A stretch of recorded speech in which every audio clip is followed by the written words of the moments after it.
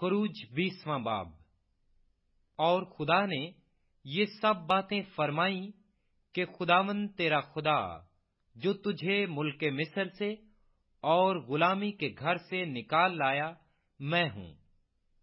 میرے حضور، تو غیر معبودوں کو نہ ماننا۔ تو اپنے لیے کوئی تراشی ہوئی مورت نہ بنانا، نہ کسی چیز کی صورت بنانا، جو اوپر آسمان میں یا نیچے زمین پر یا زمین کے نیچے پانی میں ہے، تو ان کے آگے سجدہ نہ کرنا اور نہ ان کی عبادت کرنا، کیونکہ میں خداون تیرا خدا، غیور خدا ہوں، اور جو مجھ سے عداوت رکھتے ہیں، ان کی اولاد کو تیسری اور چوتھی پشت تک باپ دادا کی بدکاری کی سزا دیتا ہوں، اور ہزاروں پر جو مجھ سے محبت رکھتے ہیں اور میرے حکموں کو مانتے ہیں، رحم کرتا ہوں۔ تو خداوند اپنے خدا کا نام بے فائدہ نہ لینا، کیونکہ جو اس کا نام بے فائدہ لیتا ہے، خداوند اسے بے گنا نہ ٹھہرائے گا۔ یاد کر کے تو سبت کا دن پاک ماننا۔ چھ دن تک تو محنت کر کے اپنا سارا کام کاج کرنا۔ لیکن ساتواں دن خداون تیرے خدا کا سبت ہے۔ اس میں نہ تو کوئی کام کرے، نہ تیرا بیٹا، نہ تیری بیٹی، نہ تیرا غلام، نہ تیری لونڈی، نہ تیرا چوپایا، نہ کوئی مسافر جو تیرے ہاں تیرے پھاٹکوں کے اندر ہو۔ کیونکہ خداون نے چھ دن میں آسمان اور زمین اور سمندر اور جو کچھ ان میں ہے وہ سب بنایا اور ساتویں دن آرام کیا۔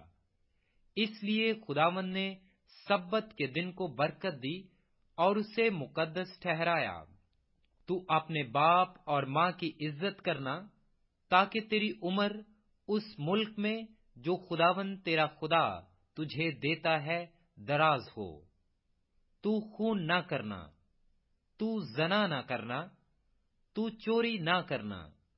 تو اپنے پڑوسی کے خلاف جھوٹی گواہی نہ دینا، تو اپنے پڑوسی کے گھر کا لالچ نہ کرنا، تو اپنے پڑوسی کی بیوی کا لالچ نہ کرنا، اور نہ اس کے غلام اور اس کی لونڈی اور اس کے بیل اور اس کے گدھے کا، اور نہ اپنے پڑوسی کی کسی اور چیز کا لالچ کرنا۔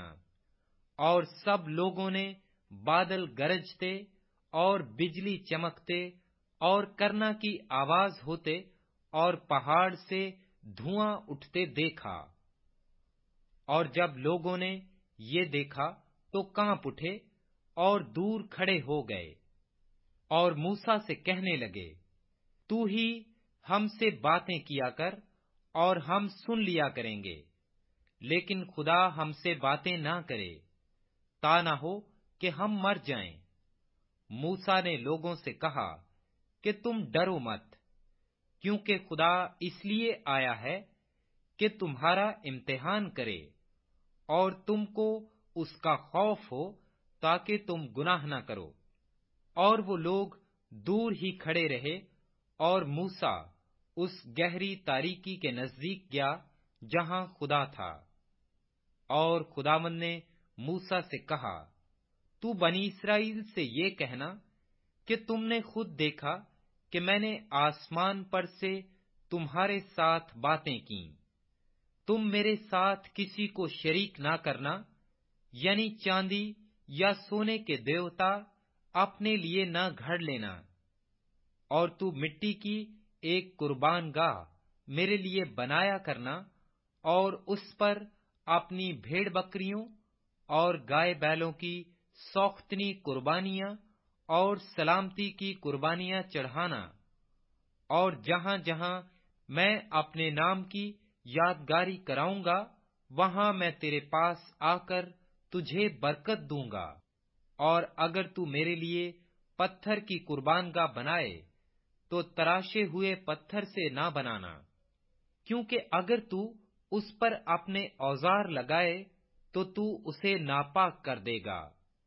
اور تو میری قربان گاہ پر سیڑھیوں سے ہرگز نہ چڑھنا، تا نہ ہو کہ تیری برہنگی اس پر ظاہر ہو۔